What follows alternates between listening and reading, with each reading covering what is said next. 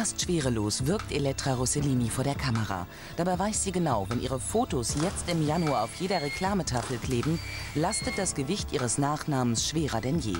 Denn auch ihre Mutter modelte für Lancôme. Isabella Rossellini, Model, Modeikone, Marke. Ich fühle mich nicht unter Druck gesetzt. Meine Mutter hat dunkle Haare, dunkle Augen, eine kurze Nase. Es ist ein völlig anderer Look. Und ich sehe eben anders aus. Auch Isabella wurde zeitlebens an ihrer berühmten Mutter, der Schauspielerin Ingrid Bergmann, gemessen. Erst mit 30 Jahren kommt der eigene Erfolg. Als Vogue Covermodel und Aushängeschild von Lancôme. 24 Jahre später verpflichtet der Kosmetikkonzern Tochter Elettra. Mamas Tipps fürs Big Beauty Business: Wer fleißig cremt, bleibt länger frisch. Immer wenn sie mich in die Ferien verabschiedet hatte, umarmte sie mich und gab mir acht Flaschen Sonnencreme mit Lichtschutzfaktor 50. Sagte bei, pass auf dich auf, das war's.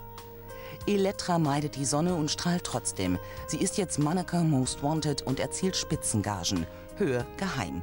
Und das, obwohl sie als I-Dörzchen schon mal auf Abwägen war. Ich wurde aus der Schule geschmissen und meine Eltern sagten, es ist okay, wenn du dir in der Schule eine Auszeit nimmst, aber du musst dir einen Job suchen. Und Bruce Weber, ein amerikanischer Fotograf, stellte mich ein und machte mit mir Fotos für einen großen Katalog. Es folgten Agenturvertrag, Laufstegjobs, unzählige Fotoshootings. Neben ihrem Modeljob studiert Elettra Politik, denn irgendwann, so sagt sie, will sie ihren eigenen Weg finden. Und der verläuft möglicherweise abseits von Laufstegen, Luxus und Lifestyle.